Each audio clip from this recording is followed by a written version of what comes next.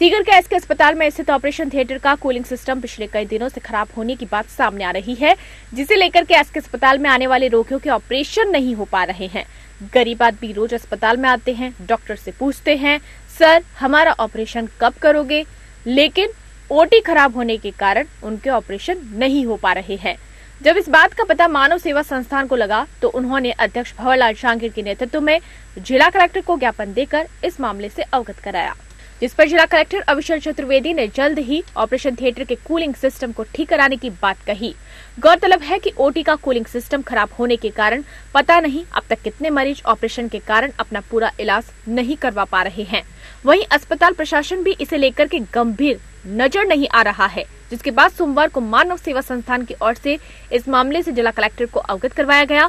इस दौरान संस्था के मंत्री टोडर मल, एडवोकेट मोहम्मद रफी गौड़ मदन लाल जांगिड़, लोकेश मीणा सहित अनेक लोग मौजूद रहे। जिला कलेक्टर साहब को ज्ञापन दिया गया है कि कल्याण हॉस्पिटल में करीब 25 दिन से हॉस्पिटल में ऑपरेशन थिएटर में कूलिंग सिस्टम खराब पड़ा बताया है और डॉक्टरों का बताने के अनुसार करीब अस्सी हज़ार रुपये का खर्चा है और वो हॉस्पिटल के माए पैसा नहीं बता रहे हैं। इसको लेकर के जो अड्डी वार्ड में काफ़ी दिनों से पंद्रह पंद्रह बीस बीस दिन से भर्ती पड़े हैं। पेशेंट और उनका उस कूलिंग सिस्टम के बिगड़ ऑपरेशन नहीं हो पा रहे हैं और वो गरीब परिवार हैं, वो बाहर से भी ऑपरेशन नहीं करवा पा रहे हैं। उसको लेकर के और हॉस्पिटल में उसका फंड भी नहीं बता रहे हैं। तो आज कल्याण हॉस्पिटल में आए हुए परिजनों में भी उसका बहुत रोष है। तो आज जिला कलेक्टर को इसको लेकर के ज्ञापन दिया गया है। कलेक्टर साहब ने हॉस्पिटल के नाम से कागज़ को देख करके और तुरंत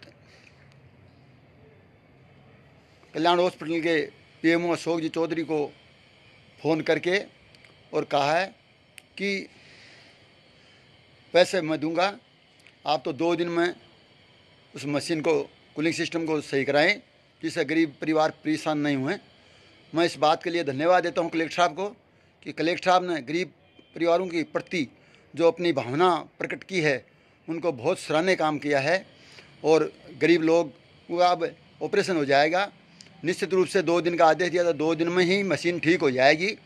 और आज मेरे साथ में हमारे संस्था के टोडरमल जी होगावट और हमारे संस्था के सलाहकार रफ़ी गौड़ साहब और हमारे मदन जी जांगिड़ी, लोकेश जी मीणा समेत कई कार्यकर्ता उपस्थित रहे और कलेक्टर साहब की मैं बहुत बहुत आभारी हाँ पूरा संस्था आभारिक है और सभी को मैं इस बात के लिए कलेक्टर साहब की प्रशंसा करना चाहता हूँ कि गरीब के प्रति जो तुरंत फास से ठीक मशीन कराने का आदेश दिया है, उसके लिए मैं उनका बहुत बहुत आभारी हूँ।